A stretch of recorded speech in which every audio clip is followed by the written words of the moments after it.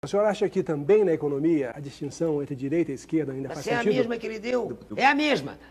A economia que não se preocupa com a justiça social é uma economia que condena os povos a isso que está ocorrendo no mundo inteiro.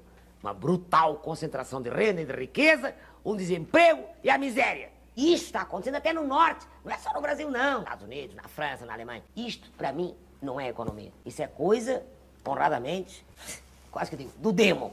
Isso é coisa de tecnocrata alucinado que acha que está tudo ok. Não está nada ok. Eu pertenço à esquerda tradicional. Eu me preocupo desde que nasci com a justiça social. Uma economia que diz que precisa primeiro estabilizar, depois crescer, depois distribuir, é uma falácia. Nem estabiliza, cresce aos solavancos e não distribui. E esta é a história da economia brasileira. Se, se não se preocupa com a justiça social, com quem paga a conta, você não é um economista sério. Você é um tecnocrata.